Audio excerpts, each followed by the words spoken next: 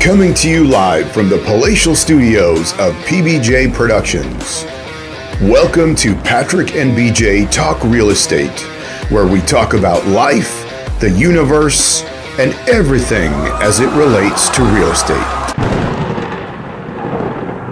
All right, everybody. Hey, it's BJ. And Patrick. And we're back talking about all things real estate. And we thought this would be a great time as we're kind of into the new year now and we've been through, you know, all these interest rate uh, bumps and everything else that we've seen. And we still hear about everybody talking about inflation and the economy and all these things. So we thought this would be a great time to just take a snapshot and talk about what's going on in our market because um, I don't know about you know the the global market per se, but we were told it's the bubble is burst or it's bursting or it's you know uh, it's on fire. It's crashing. yeah the market's coming Some- down and it's all you know prices are dropping and everything's going to be a, a mess and, And it's all because of a, a war that's overseas somewhere, and it's somebody else's fault because of these prices and market. and supply chain and so on. Oh, it's so supply on, chain. I forgot and- about supply right, chain, And then yeah. with through COVID, so forth. And you know, here's the thing: we don't deny that these are real issues going on. That's not what we're talking about here. But we want to talk about the reality of what we're seeing in the market. Sure, we've seen um, prices come down, but we are seeing the market. I would say for the first time in a long time, it's become what we used to call a normal seasonal market.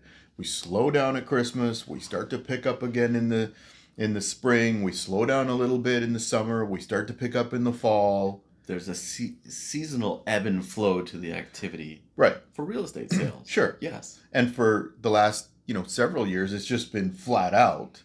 Yeah, there has. It's just been tidal wave Right. the whole time. Yeah. So I think that's what we want to talk about is, uh, you know, we're we're seeing seasonal things in the market, but the market is not, um, it's not a train wreck, right? It's anything but a train wreck. It might even be. Po- it might even be positive for sellers. Sure. Still, last. Now I don't know which episode it's going to be because we spread these out a little bit, right? Yeah. So the last time we sat together, I was going through the last seven days of sales, Yeah. and thirty percent of those achieved. Now I don't. Th- this isn't proof of a multiple offer situation, but this is how I can at least look at the sale prices. Uh, and 29.5% were either full price sales or more. Right. There was more than more than half of those were more than the or exceeding the listing price. Right. That doesn't mean there was other ones that you could get multiple offers and they're both not willing to pay full price. Sure. So you you still sell the house, Mhm. hopefully, uh, but that doesn't mean there wasn't more than thirty percent Sure. because we're getting reports back from Vancouver's getting multiple offers. Yeah.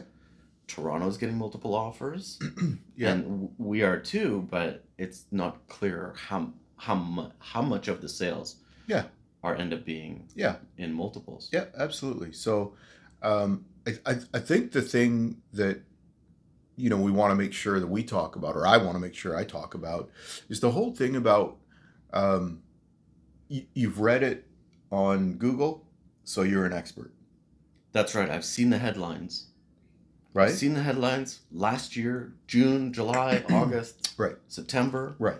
They were all saying across the country, different markets, the, the, the housing bubble, the housing bubble, like you were saying at the bit at the beginning, right? Yeah. Yeah. And here here we are, six months later, seven months later, and it's like, ah, it's, you know, it's not that bad actually. Yeah, and, and you know, let me let me tell you guys and tell you about uh, an article I read on the internet um, about the importance of eating grass. And, and you guys might be like, "What are you talking about?" Just you know, follow along; it'll it'll make sense. Um, so, the, the whole article, you know, was written about the value of eating grass and how grass is good for you, and um, he even quoted different you know reports and studies and so forth and i have no idea about these studies but i read Okay. I read through the article um, and um, at the very end of it it went on with how you could start incorporating grass into your everyday you know nutrition plan and so on and so on and so on and then at the very bottom he said if you believed any of this Oh man. throw it all out because none of this is true. It's all fictional. I've written it on purpose to show you how easy it is the, to get people to believe something that's completely untrue. These facts are not proper facts. I just created them.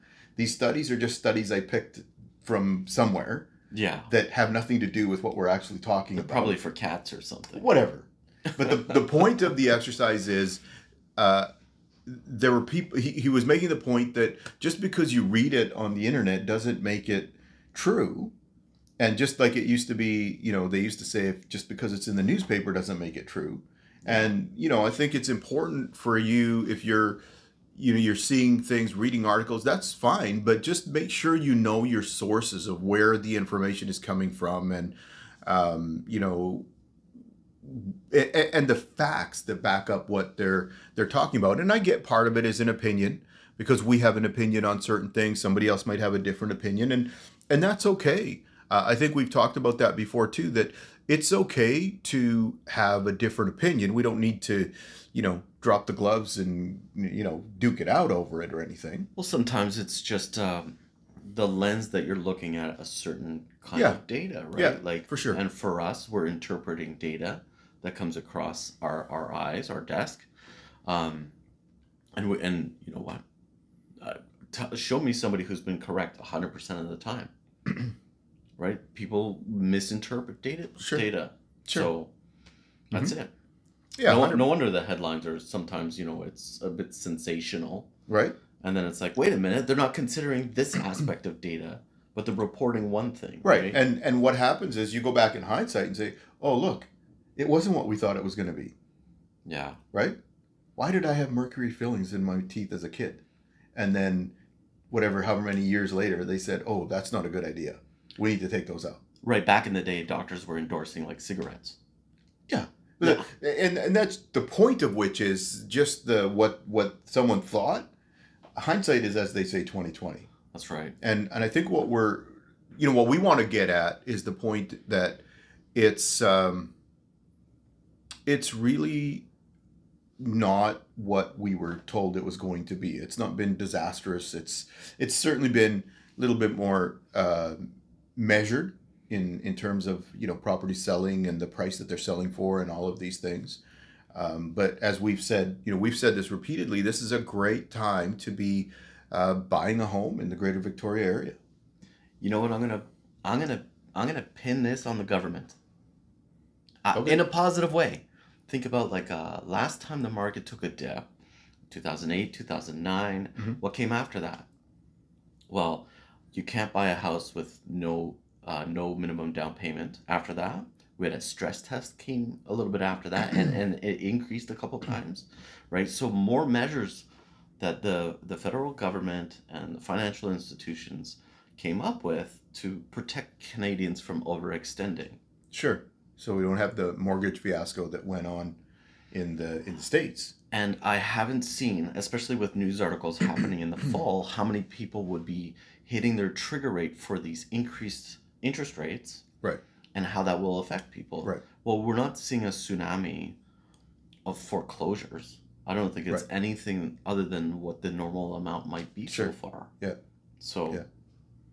So I think it's important, again, in all of this, to be uh, just be aware of where the information is coming from that you're reading. What are the sources of it, and um, you know, and and talking to professionals. If you really want to know something about what's going on in our market in terms of the whether there's property values, time to sell, things like that, um, you know, feel free to reach out to us. We're happy to help you. Or if you have you know an agent that you work with, reach out to that agent. Reach out to your professionals and talk to them about what uh, what's going on and and how it fits or how you fit that into what you want to do. Um, I, I I think we've you know from what we're talking about here, it's it's not a disaster. I guess I'll say that again. I know we've said that a lot. It's not a disaster. there's no reason to panic. Yeah, Yeah. right? So, um, yeah, you know, we wanted to really take a few minutes and go over that today. But um, if you have any questions about that, feel free to reach out. We're happy to help. But uh, otherwise, thank you for watching today. If you haven't, uh, please subscribe to our channel. Take a few minutes and like the video. It helps us to get the word out there. And uh, you know we can because we want to grow the channel to um, inform, but also to uh, inspire, like we're doing our pieces on the different uh, you know people, whether it's the we did Corbin and the the um, the uh, Ugly Duckling, and we have another one coming up here that you yeah, just we have did. another one with uh, Beauty Salon. Her name Right. is Sophia Pastro. Okay. She, uh, she has her salon in uh, in Langford. It's called Okay. Luster of Pearl, so that'll be coming out soon. And we have you know we're going to have uh, some some stuff with uh, supplement place and things like that too so there's lots of things we want to do that you'll want to grab a hold of so please subscribe uh, to the channel again like the video it helps us Awesome. That wraps that. Yeah, that just about wraps it up. okay Thank you so much for joining us. We'll see you in the next video. all right see y'all